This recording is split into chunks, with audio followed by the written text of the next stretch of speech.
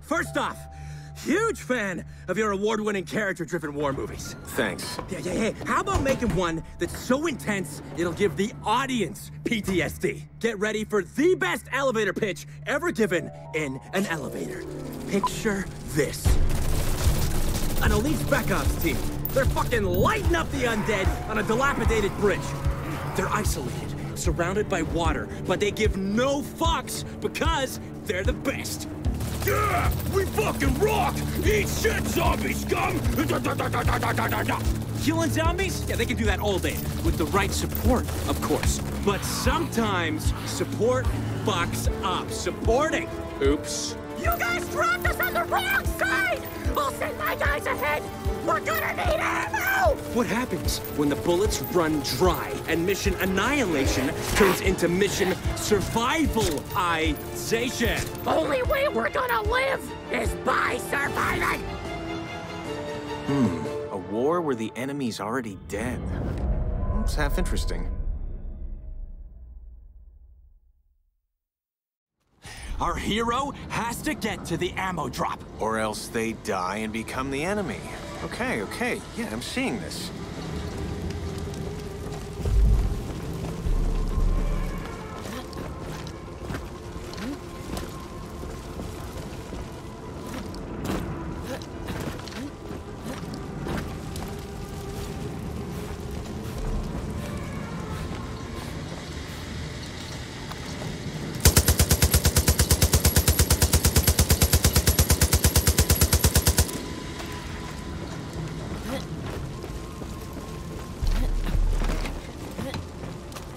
Imagine the 405 and the 101 fucked each other. This bridge would be the offspring. So it's moving backwards.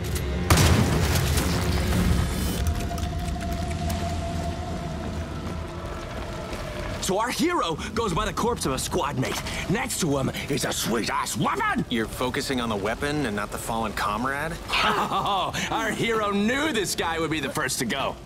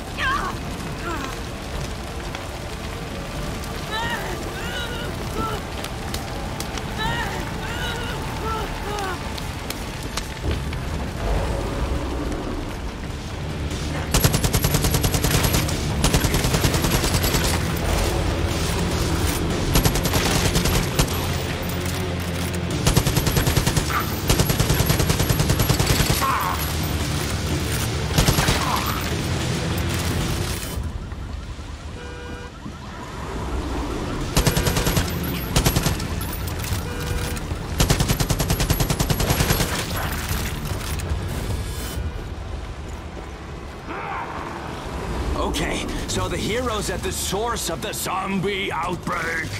No humans around, right? No dialogue, just a zombie massacre. Just a zombie massacre? There's these mutation stations, and goo, and mayhem!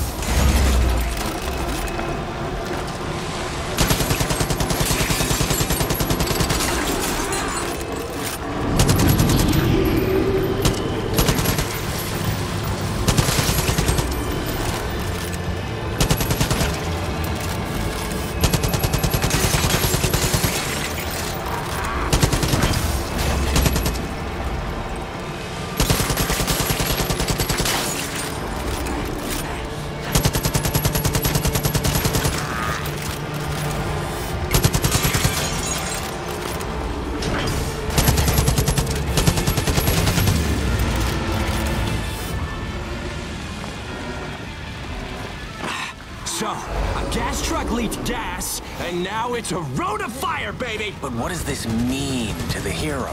Uh, the fire represents uh, th- their anger issues. It's, instead of dealing with it, they're they're avoiding it. Okay.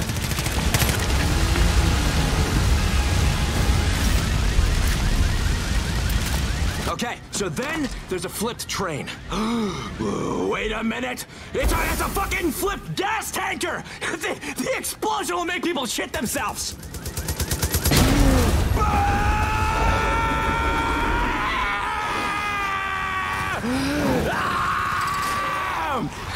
Is there a way to show something about the main character? We are! They know how to explode things!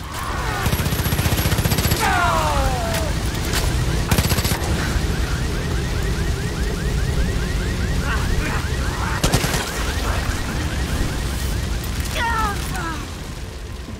The hero's gotta find a way down. If you were to put the story beats on a graph, this would be the low point in the movie, and, haha, the bridge. In my career.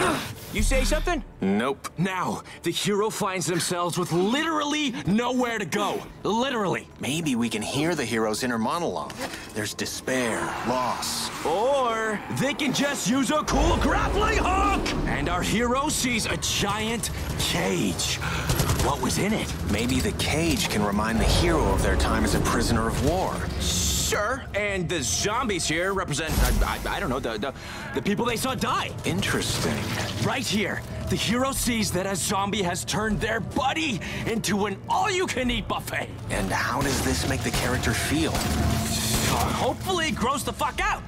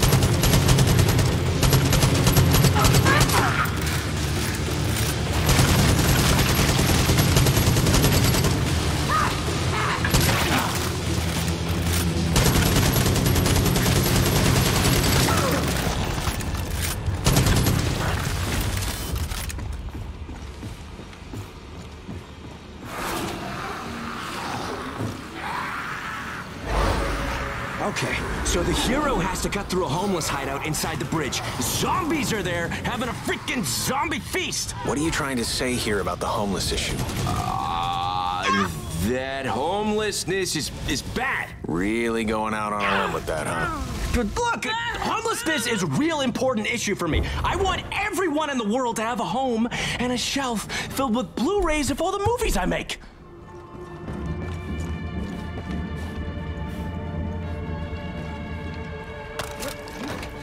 And then the main character gets to the ammo drop, and there's dun dun da ah! a new gun! One more character? How about a fucking zombie Sasquatch character?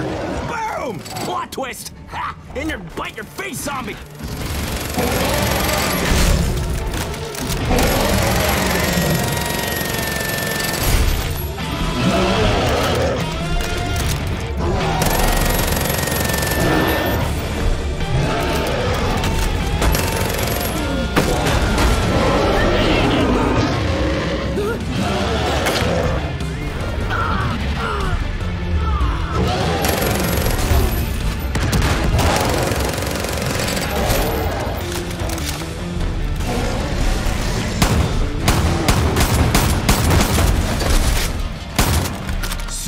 Sasquatch is fucking toast! That's cool, right? It ends on a duel with a monster. No! Our hero sees a way out.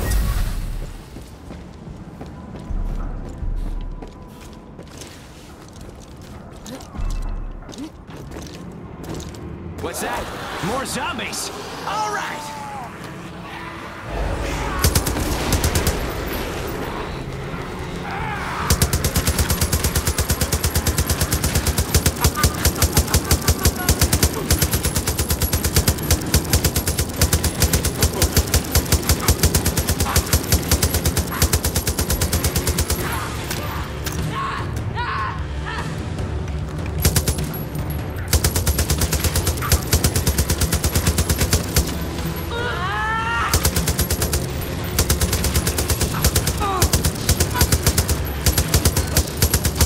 Explosion here, explosion there!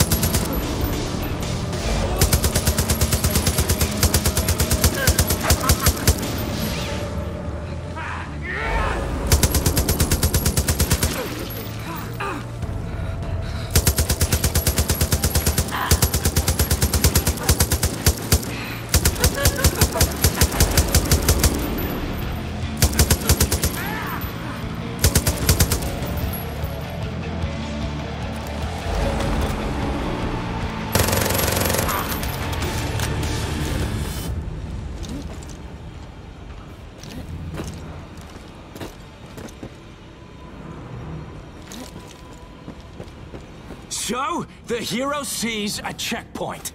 It's the end. Or is it? What does our hero find at the end? Another soldier who sees our hero as just another zombie. Bam! Headshot! Roll credits.